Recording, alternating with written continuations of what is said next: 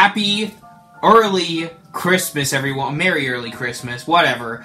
Happy holidays to each and every one of you out there. And to celebrate this festive time of year, nothing quite says Christmas like Jason. That's right, today I am here with the Rubie's Costumes Friday the 13th, Part 7, Jason Voorhees Mask.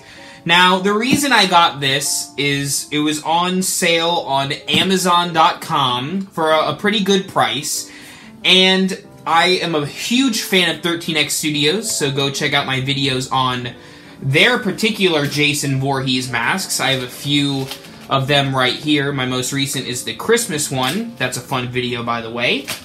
But I don't have a Jason covering for my face. Whenever I wear the masks, you can see my hair, you can see my ears. I want my entire face to look like Jason while sporting those masks. So I picked up this mask from Amazon, not for the hockey mask, but for the latex uh, overhead mask. And this is again from part 7. I have a, a very interesting relationship with Rubie's. I think a lot of their stuff is great. Sometimes it can be hit or miss, so I guess we'll see how this turns out.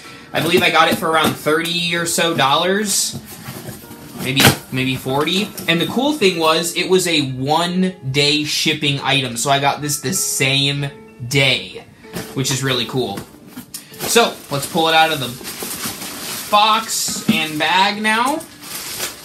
Alright, so here it is. As you can see, you have the, let me just pull the Jason mask off, and as expected, this isn't, this wasn't the reason that I got the mask from Amazon, because this mask, as you can see just by the light going through it, and just how it feels, it's super flimsy.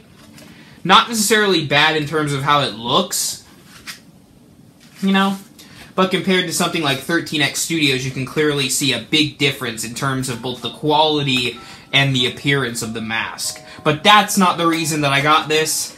This is the reason that I got this. Here is Jason. And you can see on the tag, this is an officially licensed New Line Cinema product.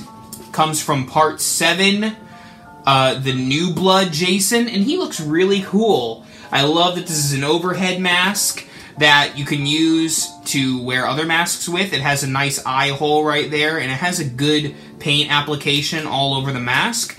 Let's see if my fat head can fit inside of it. And it fits rather well.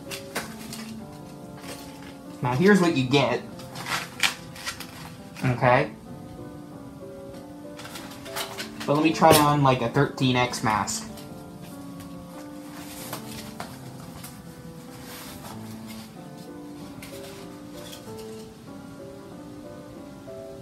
There you are. But as you can see, this is a really sweet Jason mask. Uh, again, you get this with it, and if you're not a huge like collector of these masks, then this will do fine for a like Halloween costume. But if you want to really get a good Jason latex mask, this is probably your best bet for uh, an affordable option. So thank you guys for watching this unboxing. Again, Merry Early Christmas to each and every one of you.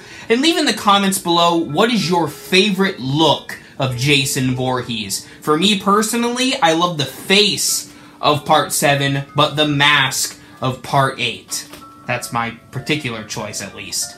Thank you all for watching, and remember as always, for all things Halloween, this is Haunt Former.